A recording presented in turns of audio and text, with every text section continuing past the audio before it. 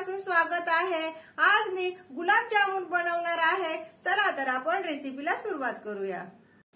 आता आपण शाही गुलाबजामुन प्रेमिक्स घेतलेलं आहे. तुम्ही कोणत्याही कंपनीचं प्रोडक्ट आपल्या आवडीनुसार घेऊ शकतात. हे दोनशे ग्रॅम प्रेमिक्स आहे. आता आपण हे प्रेमिक्स मळून घेऊया. आता हे प्रेमिक्स हात न भरवता कसं मळायचं ते आपण पाहूया. चम्मचच्या साह्याने आपण हे प्रेमिक्स मळून घेऊया. आता आपण यामध्ये थोडं थोडं दूध ॲड करूया.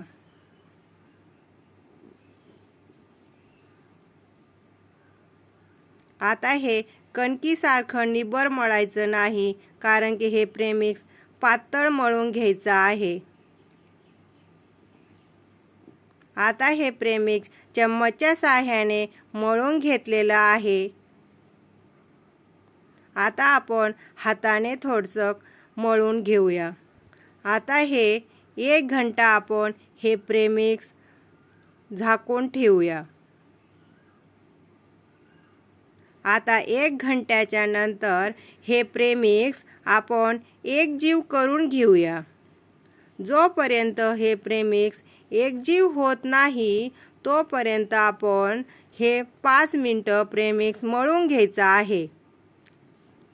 आता हे प्रेमिक्स हाताला बिलकुलही चिटकत नाही. आता याचे आपण छोटे छोटले बॉल बनवून घेऊया. हाताला आपण ऑइल लावून घेतलेलं आहे. तुम्ही तूपही लावून घेऊ शकतात. आता मीडियम आकाराचे आपण हे बॉल बनवून घेऊया.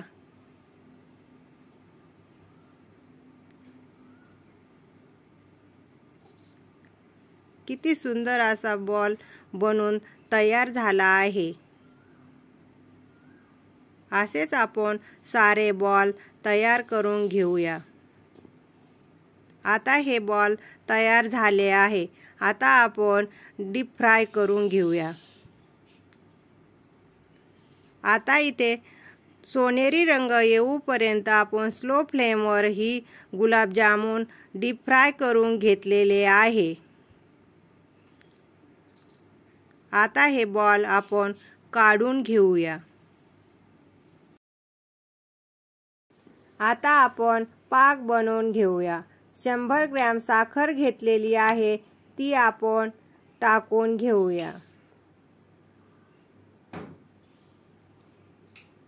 एक ग्लास पाणी ॲड करूया.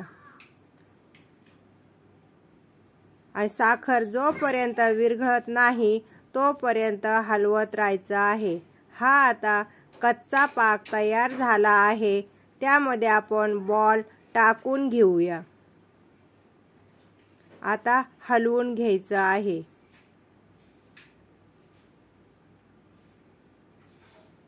आता हे बॉल किती चांगले फुगलेले आहेत कारण की याने पाक पूर्णपणे ओढून घेतले. याच्यामध्ये इलायची पूड ॲड करूया आणि हलवून घेऊया.